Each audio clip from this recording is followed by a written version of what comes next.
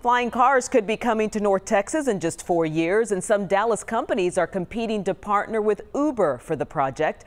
This could mean Uber air launching pads in Dallas, Frisco, and Fort Worth, flying quickly from one location to another. Tiffany Liu got a closer look at some of the competition. We've seen renderings of Uber skyports, all sorts of futuristic ideas for flying cars. But it's not just talk anymore it's being put into action. This is part of a design created by the Beck Group, and they are already in the prefabrication process with the hopes that they will become one of Uber's partners. How do we infuse this with reality?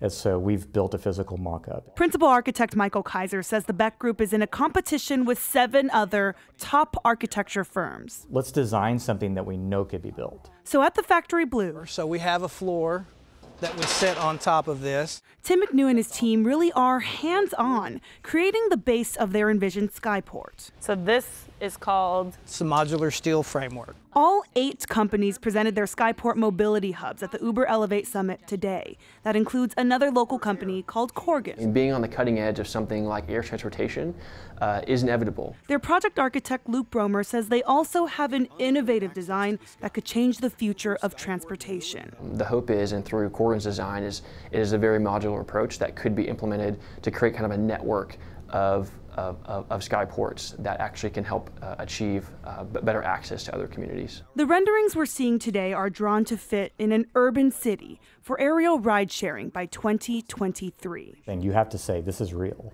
I'm Tiffany Liu.